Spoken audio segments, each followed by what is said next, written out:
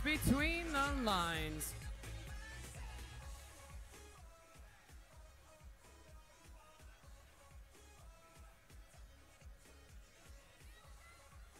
Three, two, one, go. Ladies and gentlemen, we're underway. 15 seconds here in the sandstorm period. All six robots are operating now.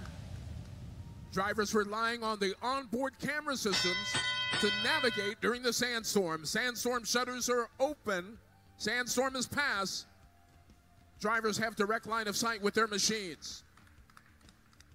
For the Red Alliance, looks like it's going to be team 35-55, able to get in and score quickly.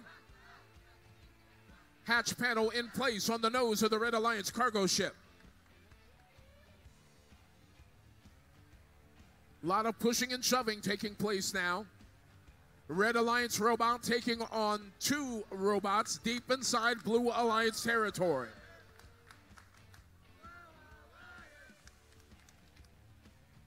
Far side of the field, it's first team 449, the Blair Robot Project. Now the action shifts to the near side of the field. The Blue Alliance attaching a hatch panel to the mid-level of the near side Blue Alliance rocket ship.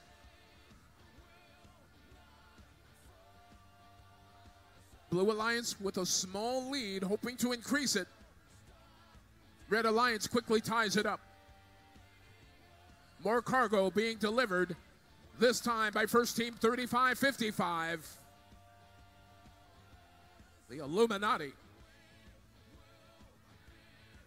Blue Alliance continues to work on that near side Blue Alliance rocket ship, hoping to fill it if they can. Blue Alliance with the lead, but it's a narrow lead.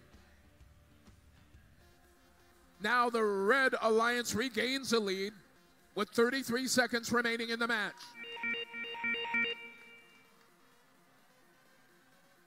Twenty-five seconds left. One point separates the two alliances. Blue Alliance has regained the lead. 20 seconds left. This is the end game. Teams scramble to get in position to maximize their points. 449 now climbing to level. Ladies and gentlemen, your scores are in. Here are your results. From the launch pad first, it is the Blue Alliance. Blue Alliance wins this one 83